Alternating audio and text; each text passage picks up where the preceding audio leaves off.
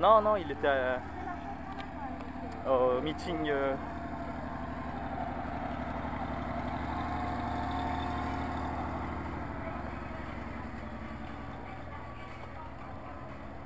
C'était à Anne.